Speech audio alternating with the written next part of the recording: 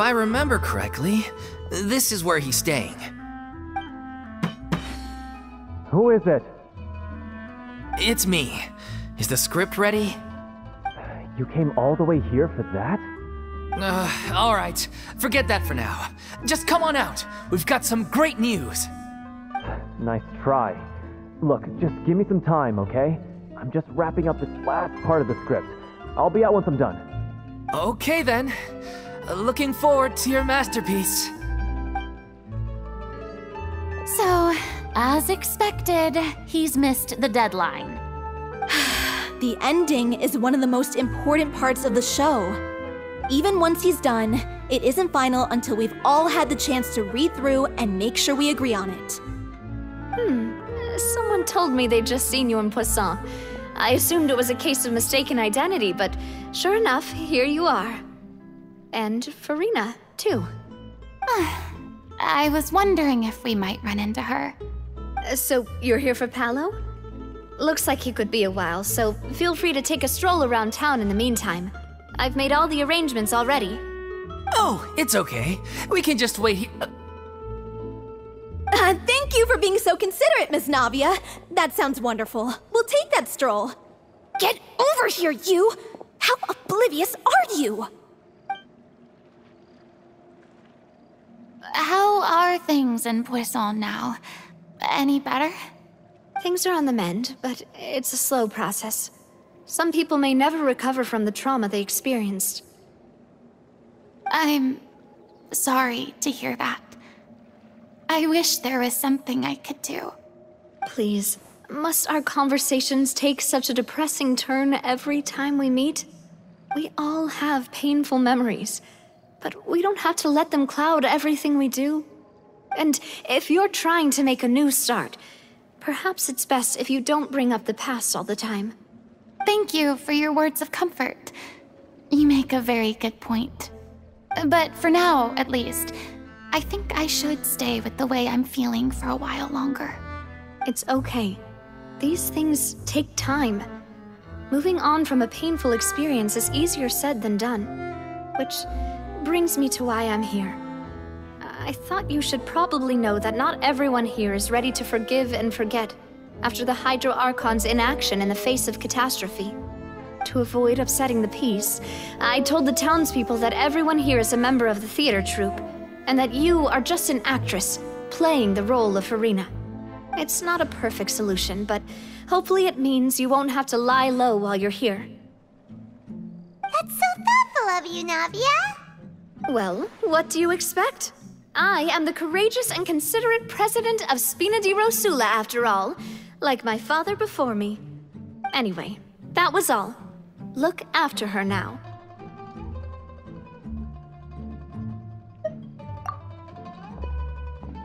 Off we go then. Let's take a look up there. I don't have any friends that I can be frank and honest with, so maybe she's right. You're the closest thing to friends that I have.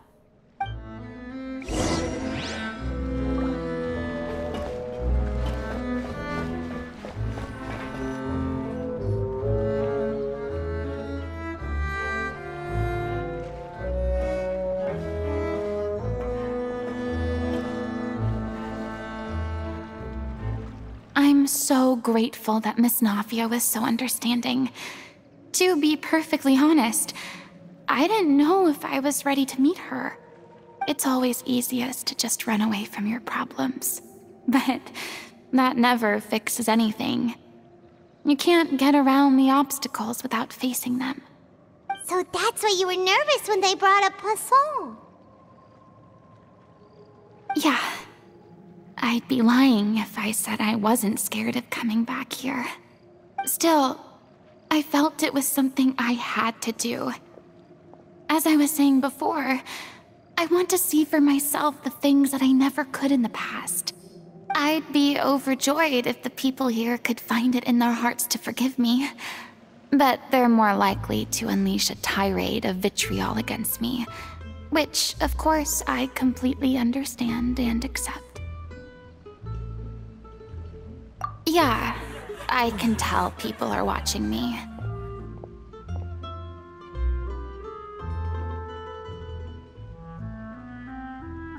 I'm sure some people here see the idea of someone coming to Poisson dressed as the Hydro Archon as extremely disrespectful. I used to be terrified of the gaze of other people, especially when they had suspicion or resentment in their eyes. I guess I wasn't quite ready for this after all. I'm not surprised you're making yourself go through all of this.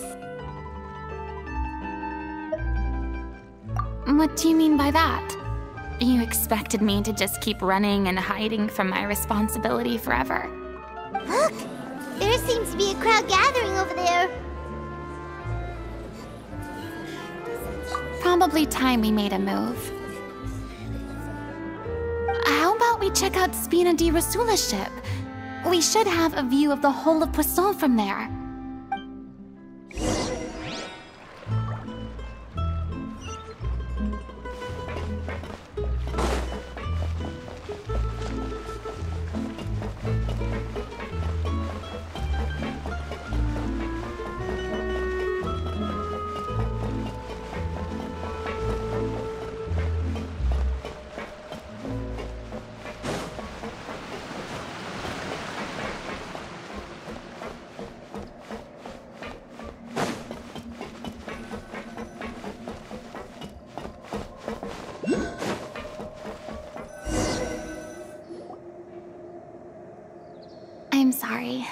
You probably just wanted a relaxing stroll.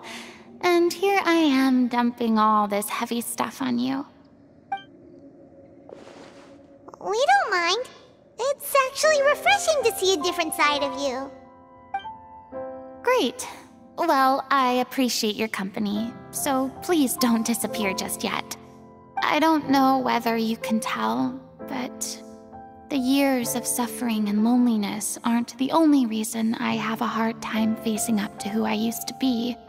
As I stand here by the ship, I can't get the images of the rising water out of my mind. One after another, people were taken by the water. All those treasured lives and memories washed out of existence in an instant. They thought their god would protect them. They had absolute faith that when disaster struck, a divine power would save them from harm. And all the while, I played my part to perfection to convince them that was true. But then the floodwaters finally came, and the Hydro Archon did nothing. You shouldn't look at it like that. You're only doing your duty. I've had to go through so many moments like that for the sake of protecting the truth. As time went on, it got harder and harder to bear, and I became more lonely and isolated. Eventually, I realized I had nothing left except the truth. I became terrified of completely failing in my task and was haunted by the thought of being left all alone weeping on my throne. Fortunately, we were able to avoid the worst case scenario thanks to the help of heroic individuals such as yourselves. Everyone rose to their responsibilities, and I finally regained my freedom. But on some level, freedom also means no longer being needed. I have no further use to people. Hmm. Paimon would have never imagined you'd see it that way. Reward?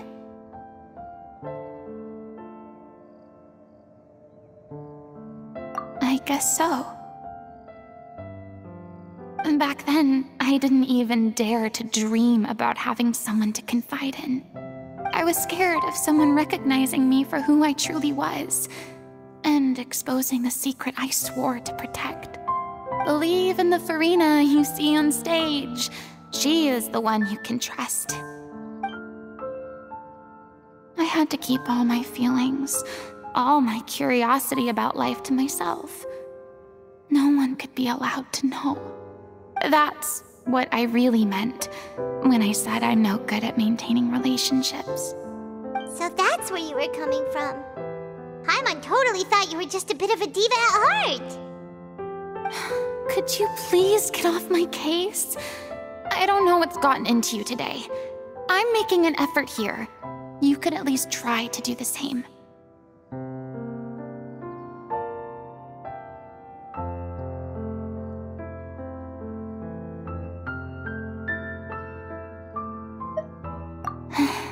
I do. I once had nothing but the truth, and now I'm finally free to live my own life again. And even though I have no idea where I'm going right now, at least the choice is in my hands. All right, it's about time to head back. Paulo should have finished the ending by now. Sure. Okay, let's head back and check it out.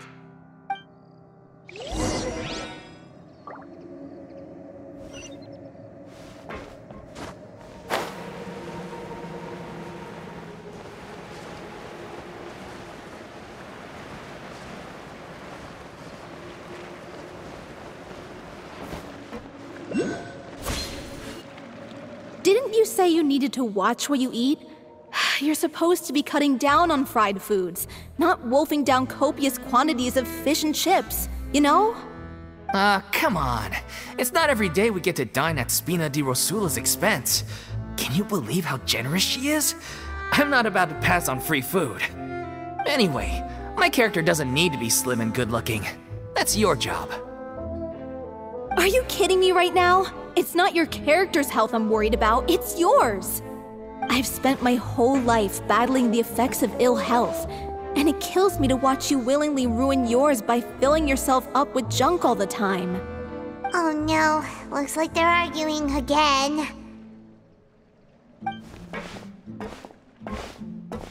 We're back! Could you maybe put your differences aside for a moment? Ah, you're back. We've been enjoying Spina di Rosula's VIP treatment in your stead. Paulo's nearly done. We shouldn't have to wait too much longer. Great! So you were discussing your characters, right? We heard she's playing the Oceanid who turns into a human girl. What about you? Me? I'm an Oceanid too. He was originally supposed to take the form of a crane, but he outgrew that role. Well, the costume at least. So now he's playing the boar instead. sorry, sorry. The boar's not a bad character, actually.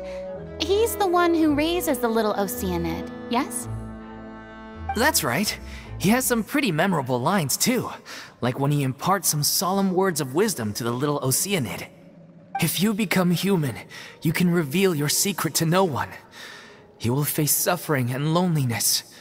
Is this truly what you want? Wait, that sounds kind of familiar. It's the most important line in the whole script. I think it's a symbolic statement about our director's life and legacy. She kept quiet about all the trials and tribulations she faced in running our troupe, allowing us to devote ourselves fully to performing. It was only after she was gone that we realized how tough her job really was. You mentioned earlier that the troupe is like your home. Yeah. I was born with an incurable illness, and once my family found out it couldn't be treated, they decided they didn't want me anymore. I spent some years taking whatever work I could find and trying to manage my illness with various medicines. But whenever I had a bad flare up, I'd be lying in an alleyway for days at a time. It was like that until the director found me one day. She told me I had a great voice and asked if I was interested in studying singing from her. I said yes. She took me under her wing, taught me to both sing and act, helped me find Mora for my meds, took care of me when my condition decided to flare up. I know it was all a huge burden on her. Sounds like a really incredible person. She really was. She gave everything she had to her troupe and the people in it. All of us were so proud to call her our director. I was a lost child too when she found me. As the child of a murderer, my parents weren't around when I was little, so I got sent to an orphanage. The other kids were always picking fights with me. They'd say things like, Come on, you must be pretty tough if you're the son of a murderer. It was just to taunt me, though. I was an easy target, and they knew it. One day, I got beaten up so bad that I just couldn't take it anymore, so I ran away. I lost all faith in humanity by that point. Thought the whole world was out to get me. Hmm. Let me guess. Fortunately, the next person you ran into was the director. Yeah, for the first time in my life, I was somewhere I felt safe. And I promised myself I'd stay here until the day the group parted ways. The day you hoped would never come. How times change. Oh, you're finally done? Get your butt over here. There's someone I need to introduce you to. This is our new artistic consultant, Miss Furina. Furina? The Furina? Oh my god, how did you manage to wrangle that? Uh, Please, the honor is all mine. I was profoundly moved to hear about your troupe and your wonderful director. I just wanted to do something to help. Same here. Even so, this is just. Oh, wow. Uh, I'm sorry. I'll try to calm down. Now, where was I? Ah, yes, the script, of course. Uh, let me give you a rundown of how the story unfolds in my version of the script. I'm sure you're already familiar with the beginning of the story. A little Oceanid decides she wants to become a human against the wishes of her family. She finds love and friendship in the bustling city. But then, disaster strikes. The people start to notice that all the fresh water in the surrounding area is slowly disappearing. The soil is becoming arid, plants and flowers are withering, and the people begin to panic. The little Oceanid, Cleo, and her lover decide to do something about it and investigate the truth of the matter together. In the end, they discover that all the waste and pollution created by humans over the years has caused the fresh water to flee the land, as if driven by a consciousness of its own. Consciousness? You mean the water is sentient? Water as a conscious entity. There's actually quite a few stories that explore this theme. Since the little Oceanid is a water spirit, she immediately understands how the water is feeling. She then tells her lover about her true identity, as well as the truth behind the crisis. Her lover accepts her for who she is, and works with her to find a way to bring the water back. However, unbeknownst to them, there were some people eavesdropping when she revealed her secret.